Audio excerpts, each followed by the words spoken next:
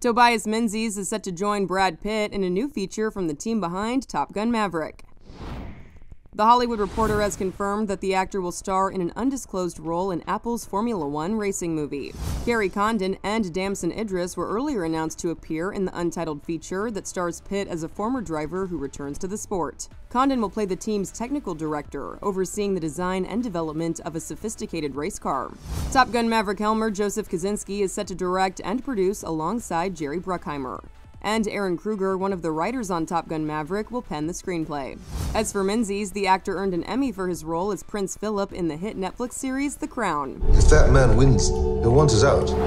This is no longer peacetime. Menzies also counts Outlander, Game of Thrones, and The Terror among his credits. He's currently in movie theaters in You Hurt My Feelings, opposite Julia Louis Dreyfus.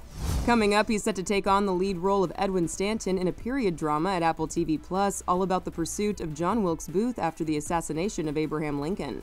For more on this story and the latest news, go to THR.com. This is the Hollywood Reporter News.